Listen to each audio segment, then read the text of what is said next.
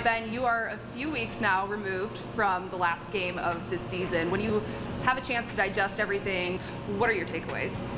Yeah, I mean, obviously it was an up and down season on the field. Um, you know, we had a lot of good performances where we didn't see games out. We had a lot of performances where we had some good results, especially at the end of the season. So I think trying to find the positives from it where you where you build off of those good performances, um, whether it was individually, guys like Cal Jennings scoring a lot of goals, or collectively as the group, last couple games really playing a good good style of football moving forward. Um, you know, really putting our best foot forward going into the 2021 season and, and learning from some mistakes and building off the positive moments like we said. You're named interim head coach with three games left in the season and you mentioned the good play towards the end of the year. Why do you think the players responded so well to your coaching style and taking over? Um, well, I think part of it is natural. You know, maybe a new lease of life for a couple players here and there, or positive energy going into those last few games. And then, uh, you know, I think tactically we, we, we really wanted to play with the ball at our feet a little bit more and, and build out of the back and be, be a bit more aggressive with our, um, you know, build-up phases of the game.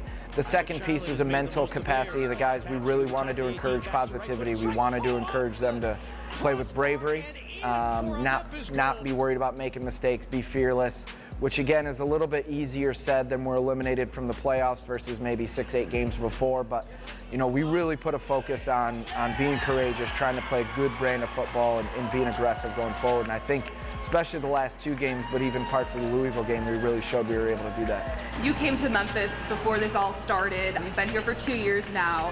How have you seen the city adopt 901 FC? It's crazy. You know, whether you go down the street to the to the brass door, I live in South Main, or you go all the way out to East Memphis, people really have, have bought into 901 FC and, and the culture of our club. I think, you know, you have soccer fans, and then you have people who may not be soccer fans that love Memphis. And I think you combine those two aspects together, you get a really high profile fan base. Soccer is the most popular sport worldwide and there's this huge push to make it more popular here in the States. We're seeing these teams pop up in markets all around the country.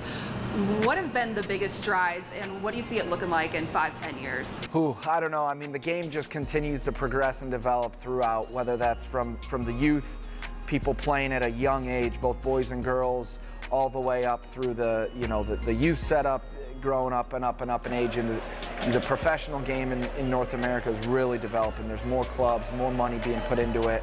Um, and the profile that means players want to come in and play in our leagues, whether it's MLS, USL Championship, League One, all the way on through it. So I don't really know what the next four or five years are going to hold. I, I, really hope that things continue to develop because the product our clubs and our communities are able to put on the field um, has really been been a high level quality product. And I think if you look at whether it's USL, MLS, there's 16, 17, 18 year old kids performing at a high, high level in professional soccer. And, and that's that's what we want to maybe potentially catch ourselves up to the to the rest of the world. But I think sky's the limit. I think you know we talked about the fans being incredible. We talked about some of the on-field products with with high-level players and coaches. And if you combine it all together, I think that development curve is just going to continue to rise. You now enter the off season. You're still in a global pandemic, but what does it look like for you in this club? I mean, it's it's it's crazy. I think part of this new cliche is like the new normal concept, and and to me, the new normal is being able to adapt. Um, you know, whether it's like not using the locker room for training or, or what. So I think you're going to see a, a unique offseason in terms of scouting players. The, the opportunities will be a little bit more limited. You know, you don't know what's going to happen with the start of next season. You don't know what's going to happen with players returning, clubs going this way and that way. So I think being a, being able to be adapt and be flexible will be the high priority. The second piece is, like we referenced earlier, taking the club to the next level. You know, and, and we had we had the ability from year one to year two to bring in um, some higher level players. Um, now from year two to year three, we want to take it even higher, and then making the group, you know, really continuity together that's going to be a high priority. So, you know, I think the off season is is unique, but at the end of the, the tunnel, there's a light of what we want this club to be, which is a very high level performing team on the field.